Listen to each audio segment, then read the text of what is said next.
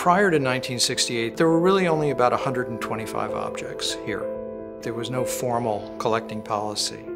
What happened was Julie Johnson Kidd, in a very magnanimous gesture with her mother, made a gift to Middlebury College through the Christian A. Johnson Endeavor Foundation of the Christian A. Johnson Memorial Building.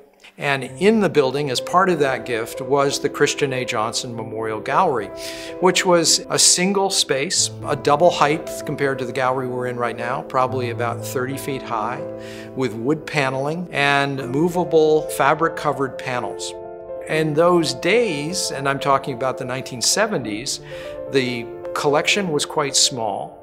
And so the college relied on these small changing exhibitions to bring vitality to what was going on at Middlebury and again to augment the uh, academic program at the college.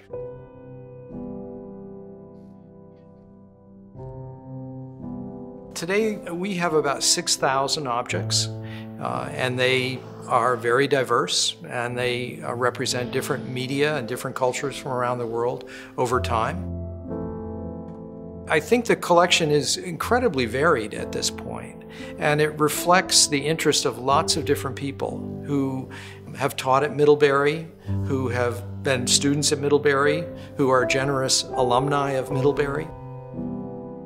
I'm always excited when an object, uh, whether it's an object we've purchased or whether it's come as a gift, stimulates a colleague and a faculty member uh, interest in teaching with that, and it expands the horizon line for students enormously when they can come into the museum, when they can look at an object, when they have a faculty member who's excited by that. That excitement uh, carries forward in a way that uh, you don't really know what the effect of that will be. So it's the, the interaction between students and faculty and the objects that has created kind of an insatiable appetite that we have, the museums have, for adding to these permanent collections. That's what we do. Each year we'll bring new objects and we're always looking forward to the next day, next week, the next year, and what that will bring to the museum.